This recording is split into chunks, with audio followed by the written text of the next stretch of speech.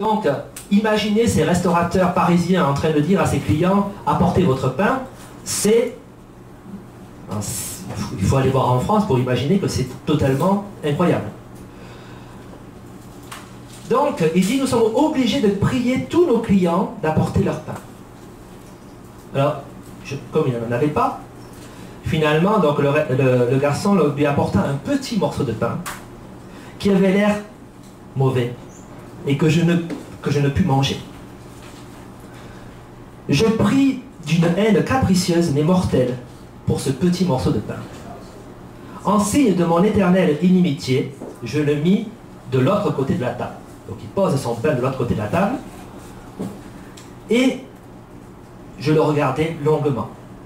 À ce moment-là, d'autres personnes entrent dans le restaurant. À ma gauche, prirent place un capitaine portant l'uniforme et un colonel. À ma droite, s'installa une dame vêtue de noir, appartenant à une classe par laquelle Paris est célèbre, une bourgeoisie. En un clin d'œil, mes voisins de droite et de gauche ont dévoré leur pain. Et commencèrent à regarder le mien. Tout le monde regarde ce pauvre pain au bord de la table qu'il n'a pas voulu manger. Le colonel finit par me dire Monsieur, avez-vous l'intention de manger votre pain ou de l'emporter? Sinon, je vous demanderai la permission d'en prendre une bouchée. Prenez-le, prenez-le, colonel, répondis-je, je n'en ai plus envie. Il en prit la moitié. C'est déjà un petit morceau, il en prend la moitié. C'est un colonel, hein, c'est pas, pas un mendiant. Hein. Donc il en prend la moitié et il le divise en deux pour partager avec l'autre personne qui est avec lui. Ensuite, la dame s'avança, disant M'est-il permis de prendre l'autre moitié? Donc c'est la dame qui est de l'autre côté. Cet incident d'un morceau de pain marque le goût autant amer de l'attitude presque indécente de cette bonne société. Là, le journaliste est très violent, hein, parce qu'il dit ces gens riches, ce sont des militaires, ce sont une bourgeoise, qui, en train de mendier un petit morceau de pain. Pour en contrôler, euh, donc, un dessin de cette bonne société qui ne sait plus se contrôler en public et le goût amer de la défaite des armées françaises face aux Allemands. Donc cette petite histoire-là autour de ce pain, qui pourrait être presque ridicule, mais montre à quel point cette guerre finalement révèle les, les instincts, j'allais dire presque indécents, comme dit le journaliste, des, euh, Français, par le, jour où, il manque le pain.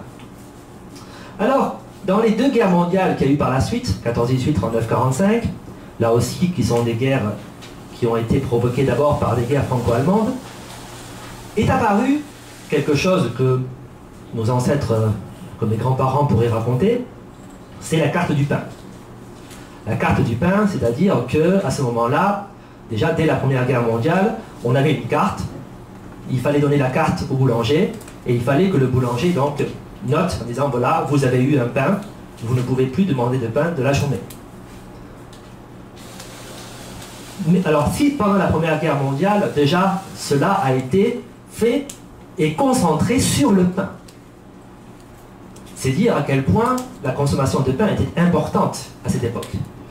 Mais en plus, dans la Deuxième Guerre mondiale, cette carte de pain est même plus révélateur, révélatrice d'une carte, de cette époque, parce que sur la carte, il était écrit si vous trouvez cette carte, ou si quelqu'un veut vous la vendre parce qu'elle a été volée, ne la prenez pas, parce que derrière chaque carte perdu ou volé, c'est un Français qui ne peut plus manger.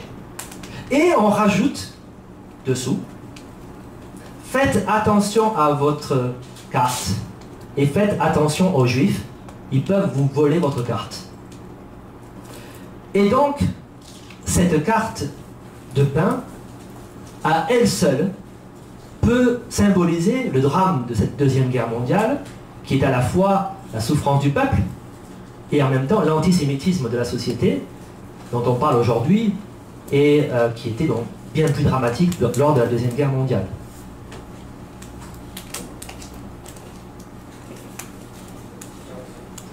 Après le pain, je voudrais parler de la consommation, puisque nous sommes dans la consommation.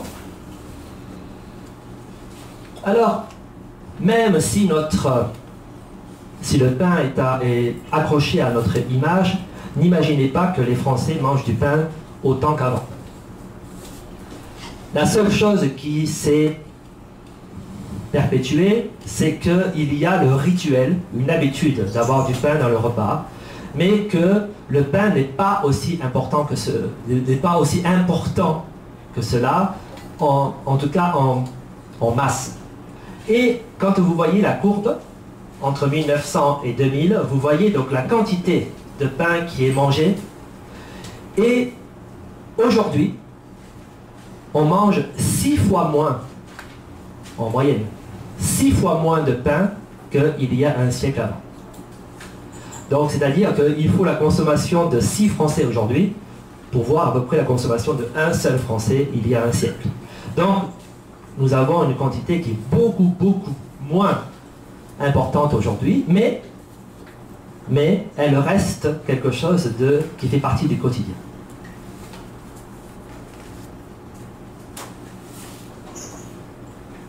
Alors, les causes de cette diminution de consommation sont multiples. En effet, si on consomme moins de pain, c'est parce qu'on nous a habitués, moi j'ai souvent entendu ça quand j'étais enfant aussi, c'est que si on mange beaucoup de pain, c'est qu'on n'aime pas ce qu'il y a dans le repas. Donc c'est un peu insulter la personne qui vous a invité ou insulter votre mère qui a fait le repas parce que si vous avez un morceau de viande et que vous mangez un kilo de pain à côté, ça veut dire ta viande, elle a du mal à passer. Donc c'était un peu grossier. Et donc, on a pris cette habitude de manger moins de pain parce que, pour des raisons d'éducation, et aussi donc parce que le pain a été remplacé par autre chose, parce que nous sommes entrés progressivement dans une société de la consommation. Et dans la société de la consommation, on mange notamment beaucoup plus de viande et beaucoup plus de produits transformés. Et donc, ces produits de viande et ces produits transformés ont rapidement pris la place du pain dans sa quantité. Alors, en même temps, il y a autre chose. C'est la mauvaise réputation du pain. C'est quelque chose, c'est quand même un peu le, le monde à l'envers.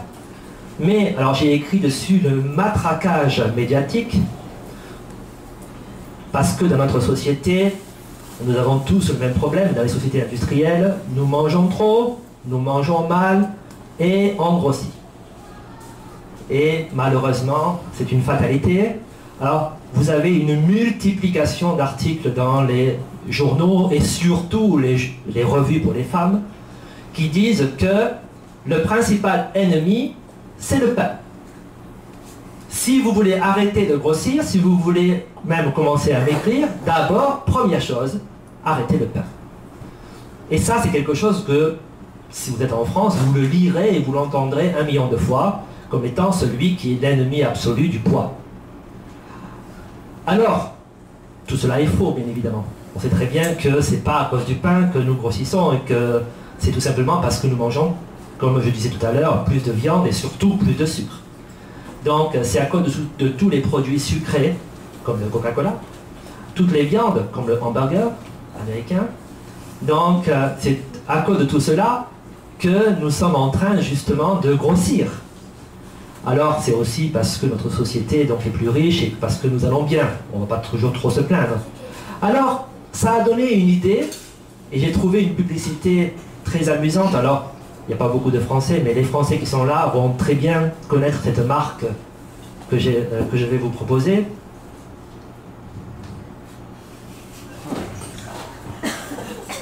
Cette publicité, je l'ai trouvée très amusante. Alors, le Nutella, quand moi j'étais enfant, on mangeait, euh, on mangeait tous quand on rentrait à la maison. Euh, tout à l'heure, je, crois que c'est vous qui disiez que quand on rentrait à la maison, on, prenait du pain, on coupait, on faisait une partie de quelque chose. Et ma génération à moi, j'ai été la génération Nutella.